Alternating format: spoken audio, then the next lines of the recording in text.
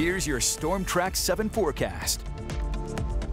Good morning and happy Saturday, Eastern Iowa. I'm Storm Track 7 meteorologist Danny Cassidy. Well, for today, it's going to be a beautiful summer day, a lot different than we've seen this past week with high humidity, a lot of rain, and just some pretty unpleasant conditions. Tomorrow, we're going to increase the cloud cover, partly cloudy. Could see a few showers off to the north, but nothing washout expected. We'll also be slightly humid with those dew points in the mid 60s. And then on Monday, we have a chance of showers and storms. Excuse me. And some of those could be strong at times, although nothing severe is expected at this moment. Winds, not much winds to talk about here. It's going to be out of the northeast and east at around 5 to 10. It's going to stay that way through the majority of the day, and then overnight it's going to stay very calm, just around that 5 mile per hour range. The winds will pick up a little bit tomorrow, around 10 to 15, but won't be very breezy for this weekend. The dew points, like I said, they dipped down a little bit today. We're going to be in the low to mid 60s, around 63. They ramp back up on the latter half of this weekend into Monday, the mid to upper 60s in that kind of humid range. And then on Tuesday, we get a little bit of relief in the low 60s as well as Wednesday, but it's not completely going anywhere because we are in summer and it is very humid during these July and August months. So future track here for the rest of today.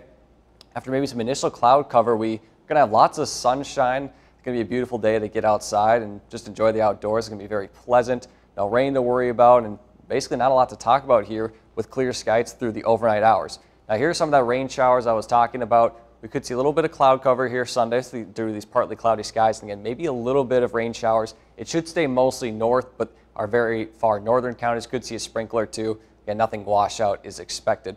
And then we clear out Sunday night. Once again, we start off clear, but you can see these clouds off to the west here. They're going to build in and make its way eastward, and we could see those chance of showers and storms late Sunday into Monday morning. Again, some of those could be strong, but nothing widespread severe at this moment is expected.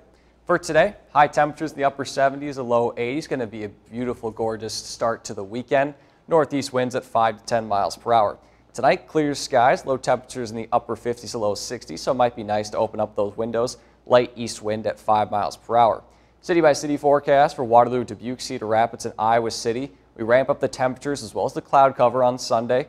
Into Monday, we see temperatures in the upper 80s and a few 90s are possible down south with those showers and storms possible. Through the rest of the week, we're mostly dry except for chances of showers and storms Friday into Saturday. But if you notice the temperature trend, we warm up Monday, cool back down Tuesday, and then through the end of next week, we see temperatures back into the 90s and could see it stay that way for a couple of days.